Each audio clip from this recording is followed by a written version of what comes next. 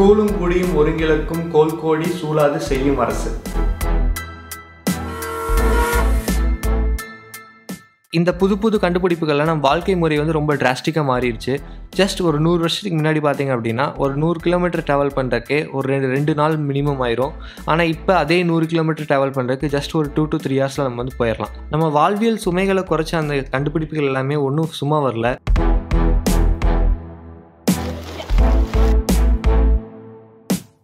ஒரு காலத்தில் இந்த மாதிரியான சயின்டிஃபிக் இன்வென்ஷன்ஸ்லாம் மிகப்பெரிய அச்சீவ்மெண்ட்டாக கன்சிடர் பண்ணாலுமே இவ்வளோ நாள் கழிச்சு இப்போ எப்படி இந்த உலகத்தவே அழிக்கக்கூடிய ஒரு சூழ்நிலையில் வந்து விட்டுருக்கு அப்படிங்கிறத இந்த வீடியோவில் நம்ம பார்க்க போகிறோம் hey stop stop stop stop நீங்கள்லாம் இதுக்கு முன்னாடி இந்த வீடியோ கண்டினியூ பண்ணுறதுக்கு முன்னாடி உங்கள் எல்லாத்துக்குமே வந்து ஒரு என்ட்ரன்ஸ் கொஸ்டின் நான் ஒன்று வச்சிருக்கேன்.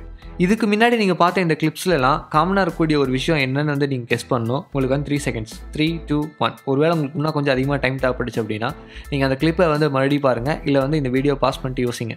ஒருவேளை நீங்கள் எல்லாருமே க்ரீன் ஹவுஸ் கேசஸ் அப்படின்னு சொல்லியிருந்தீங்கன்னா congratulations you won the test last ten இயர்ஸில் கண்டிப்பாக நான் சொல்லக்கூடிய இந்த வார்த்தைகளை வந்து நீங்கள் எங்கேயாச்சும் கேள்விப்பட்டிருப்பீங்க.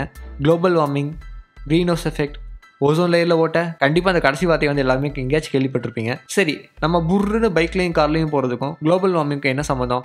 நண்பன் படத்தில் வர ஸ்ரீவன்சன் ரூம்குள்ளே கேஸ் போடுற மாதிரியே நம்ம ஓட்டுற காரு பைக் அப்புறம் நம்ம யூஸ் பண்ணக்கூடிய ஒரு சில இண்டஸ்ட்ரீஸ் எல்லாமே அட்மாஸ்பியருக்குள்ள ஒரு சில கேஸஸ் எல்லாம் ரிலீஸ் பண்ணும். Carbon dioxide sulphur dioxide nitrous oxide methane chlorofluorocarbon மாதிரியான கேஸஸ் எல்லாம். ஸ்ரீவன்சன் வந்து ரிலீஸ் பண்ணக்கூடிய அந்த கேஸ்க்கு வந்து இண்டிவிஜுவலான ஒரு ஸ்மெல் இருக்கு இல்லையா? அதே மாதிரி இந்த மாதிரியான கேஸ் எல்லாத்துக்குமே காமனான ஒரு ப்ராப்பர்ட்டி இருக்கு. அதுதான் its ability to trap and store heat நம்ம பூமிக்கு சன்ல இருந்தால் ஹீட் எனர்ஜி லைட் எனர்ஜி கிடைக்குது. ஆனால் அது வெறும் டுவெல் ஹார்ஸ் மட்டும்தான். அடுத்த டுவெல் ஹார்ஸ் நமக்கு அது கிடைக்காது. எதனால அப்படின்னா ஆப்வியஸ்லி இதனால தான் அப்படி நமக்கு சன்லேருந்து ஹீட் எனர்ஜி கிடைக்காத போது நைட் டைம் வந்து டெம்பரேச்சர் ட்ராப் ஆகணும். ஆனால் அது நடக்கிறது இல்லை எதனால அப்படின்னா அது காரணம் தான் இப்போ நான் சொன்ன அந்த nitrous oxide carbon dioxide sulphur dioxide இந்த மாதிரியான கேஸ் எல்லாம் என்ன பண்ணுது அப்படின்னா டே டைமில் சன்லேருந்து வர ஹீட்டை வந்து ஸ்டோர் பண்ணி வச்சுக்கிட்டு நைட் டைம் வந்து அட்மாஸ்பியரில் வந்து ரீஎமிட் பண்ணும்.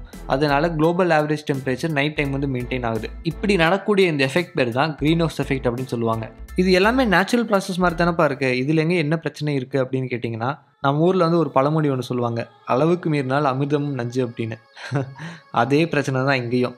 இந்த பழமொழிக்கான அர்த்தம் புரியாதவங்களுக்கு வந்து இது வந்து நான் கொஞ்சம் எக்ஸ்பிளைன் பண்ணிடுறேன். இது வந்து உங்களுக்கு ஆல்ரெடி தெரியும் அப்படின்னா ஜஸ்ட் வந்து ஒரு டுவெண்ட்டி செகண்ட்ஸ் வந்து ஃபார்வர்ட் பண்ணியிருக்கேன் இந்த வீடியோவை அந்த காலத்துலலாம் வந்து அமிர்தம் அப்படின்னா வந்து மருந்து அப்படின்னு வந்து கன்சிடர் பண்ணிப்பாங்க. அப்படி வந்து மருந்தாக இருந்தாலுமே கூட அது வந்து ஒரு அளவாக தான் சாப்பிடணும். அந்த அளவை தாண்டி வந்து நம்ம சாப்பிட்டோம் அப்படின்னா அது வந்து நஞ்சு அப்படின்னு சொல்கிறாங்க அதே மாதிரியான விஷயம் தான் இந்த க்ரீன் ஹவுஸ் கேஸ்லேயும் நடந்திருக்கு. ஒரு அளவுக்கு அதிகமாக வந்து அட்மாஸ்பியரில் சேரும் போது அது வந்து நல்ல விஷயத்தோட ரொம்ப கெட்ட விஷயங்கள் தான் வந்து அதிகமாக பண்ணும். சரி இப்போ உங்கள் எல்லாத்துக்குமே வந்து இன்னும் ஒரு ஷாக்கிங்கான ஒரு ஃபேக்ட் சொல்கிறேன் நீராவி கூட ஒன் ஆஃப் த ஒரு க்ரீன் ஹவுஸ் கேசஸ் தான் வாட்டர் வேப்பரோட கான்சன்ட்ரேஷன் வந்து பார்த்தீங்கன்னா அட்மாஸ்பியரில் டூ பர்சன்ட் ஆனால் கார்பன் டை ஆக்சைடோட கான்சன்ட்ரேஷன் ரொம்ப ரொம்ப கம்மி. Zero point zero four percent தான். அப்போவும் வாட்டர் வேப்பர் பற்றி யாரும் அதிகமாக வந்து கவலைப்படவே மாட்டாங்க. எதனால அப்படின்னா கார்பன் டை ஆக்சைடு வந்து ஒன்ஸ் வந்து அட்மாஸ்பியருக்குள்ளே வந்ததுக்கப்புறம் அதோட ஆவரேஜ் லைஃப் ஸ்பேன் வந்து ஃபிஃப்டி இயர்ஸ்லேருந்து டூ ஹண்ட்ரட் இயர்ஸ் வரைக்கும். அதே இது வாட்டர் வேப்பர் கம்பேர் பண்ணும்போது ஜஸ்ட் ஒரு நைன் டேஸ் தான். கடல்லேருந்து எவாப்ரேட் ஆகுது மேலே போய் க்ளவுட்ஸாக ஃபார்ம் ஆகுது. க்ளவுட்ஸாக ஃபார்ம் ஆகி மறுபடியும் வந்து பூமிக்கே திரும்ப வருது. இந்த ப்ராசஸ் வந்து ஜஸ்ட் ஒரு நைன் டேஸ்க்குள்ளே நடந்துடும் இது மட்டும் இல்லாமல் கார்பன் டை ஆக்சைடு வந்து டோட்டல் க்ரீன் ஹவுஸ் எமிஷனில் வந்து செவன்ட்டி சிக்ஸ் பர்சன்ட் இப்படி seventy six percent of greenhouse gases வந்து டூ ஹண்ட்ரட் இயர்ஸ்க்கு மேலே இருக்க போகுது அப்படின்னா obviously there will be a point where there is no point of return சரி இப்போ நமக்கு வந்து குளோபல் டெம்பரேச்சர் அதிகமாகறனால எந்த பிரச்சனை அப்படின்னு கேட்டிங்கன்னா குளோபல் டெம்பரேச்சர் அதிகமாகறனால நமக்கு வந்து எந்த பிரச்சனையுமே கிடையாது. ஆனால் அது எவ்வளோ வேகமாக அதிகமாகுது அப்படிங்கிறது தான் நமக்கு பிரச்சனையே. ஃபார் எக்ஸாம்பிள் பனானா என்னடா எக்ஸாம்பிள்னு சொல்லிட்டு வாழைப்பழம் சாப்பிட்ருக்காங்கன்னு நினைக்காதீங்க. ஒரு விஷயம் இருக்குது வெயிட் பண்ணுங்க. பார்த்தீங்களா இன்னும் நான் உயிரோடு தான் இருக்கேன். நான் இப்போ சாப்பிட்ட அந்த பனானால இருந்து ரிலீஸ் ஆன எனர்ஜியும் நீங்க இப்போ இந்த டைனமேட் எக்ஸ்ப்ளோஷன் ரிலீஸ் ஆன எனர்ஜியும் ரெண்டுமே க்ளோஸ் டு ஈக்குவல் தான். சிக்ஸ் ஃபிஃப்டி கிலோ ஜூல்ஸ் ஆனால் என்ன பெரிய டிஃபரன்ஸ் அப்படின்னா எவ்வளோ ஃபாஸ்ட்டாக அந்த எனர்ஜி ரிலீஸ் ஆச்சு அப்படிங்கிறது தான். நான் சாப்பிட்ட இந்த பனானால இருந்து சிக்ஸ் டு எயிட் ஹவர்ஸ் டியூரேஷனில் வந்து கொஞ்சம் கொஞ்சமாக எனர்ஜி ரிலீஸ் ஆகும். பட் நீங்கள் பார்த்து இந்த dynamite எக்ஸ்ப்ளோஷனில் zero point zero zero zero zero five செகண்ட்ஸில் வந்து அந்த எனர்ஜி எல்லாம் ரிலீஸ் ஆயிருக்கு. இதுலேருந்து நான் எங்கே கொண்டு போகிறேன் அப்படின்னா ஸோ வந்து நமக்கு டெம்பரேச்சர் ரைஸ் ஆகிறது ப்ராப்ளமே இல்லை. ஆனால் அது எவ்வளோ ஃபாஸ்ட்டாக நடக்குது அப்படிங்கிறது தான் பெரிய பிரச்சனையே. கிளைமேட் சேஞ்ச் எக்ஸ்பர்ட்ஸ் எல்லாமே என்ன கோல் செட் பண்ணியிருக்காங்க அப்படின்னா நமக்கு வந்து எந்த மாதிரியான அட்வர்ஸ் எஃபெக்ட் இல்லாமல் இருக்கிறதுக்கு இந்த one point five degree Celsius வந்து டூ தௌசண்ட் ஹண்ட்ரடுங்கும் போது இன்க்ரீஸ் ஆச்சுன்னா நமக்கு வந்து எந்த விதமான எஃபெக்ட் அதுவுமே இருக்காது. ஆனால் இப்போ நம்ம ரிலீஸ் பண்ணிட்டு இருக்கிற இதே ரேட்டில் போனோம் அப்படின்னா டூ தௌசண்ட் தேர்ட்டிக்குள்ளே அந்த லிமிட் வந்து நம்ம ரீச் பண்ணிடுவோம். சரி நம்ம அப்படி one point five degree Celsius increase ஆகிறதுனால என்ன பெரிய உலகமாக அழிய போகுது அப்படின்னு கேட்காதீங்க. லிட்ரலி உலகம் அழிஞ்சு போயிடும்.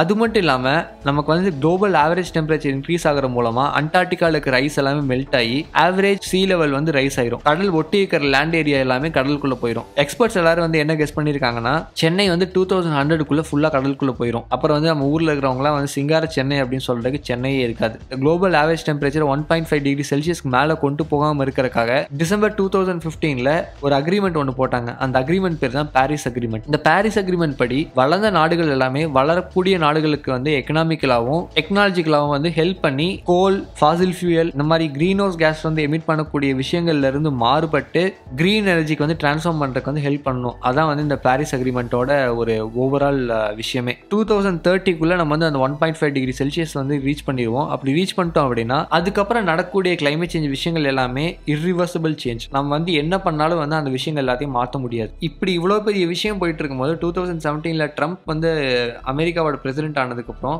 பாரிஸ் அக்ரிமெண்ட்ல வந்து வந்து வெளியில் வந்துட்டாரு. அவர் வந்து அந்த ஒரு விஷயம் பண்ணனால நமக்கு வந்து ஒரு ஹியூஜ் செட்பேக் அதுக்கு தான் வந்து நான் ஸ்டார்டிங்லேயே சொன்ன ஒரு குரல். அந்த குரலோட விளக்கம் என்ன அப்படின்னா ஒரு ரூலர் வந்து தன் மக்களை பற்றியும் தன் ஆட்சியை பற்றியும் கவலை இல்லாமல் நம்ம செய்யக்கூடிய விஷயங்களுக்கு வந்து ஒரு கன்சிக்வன்ஸ் இருக்கும் அப்படின்னு யோசிக்காம செயல்பட்டார் அப்படின்னா அவர் வந்து அந்த ரூலர்ஷிப்பை வந்து இழந்துருவார். கிளைமேட் சேஞ்ச் வந்து புரிஞ்சுக்கிட்டு நம்மளும் கொஞ்சம் கண்ட்ரிபியூட் பண்ணோம் அப்படின்னா நம்மளை வந்து க்ரீன் எனர்ஜிக்கு வந்து ட்ரான்ஸ்ஃபார்ம் பண்ணிக்கலாம். யூஸ் பண்ணுற வெஹிக்கிளாக இருக்கட்டும் காராக இருக்கட்டும் கொஞ்சம் கொஞ்சமாக இப்போதைக்கு வந்து நம்ம ஊரில் வந்து இன்ஃப்ராஸ்ட்ரக்சர் இல்லை அது எனக்கு புரியுது. ஒரு ஃபைவ் ஆர் டென் இயர்ஸ்க்குள்ளே வந்து எலக்ட்ரிக் இன்ஃப்ராஸ்ட்ரக்சர் வந்து நம்ம ஊரில் வந்து டெவலப் ஆயிரும். Let's hope we all convert to green energy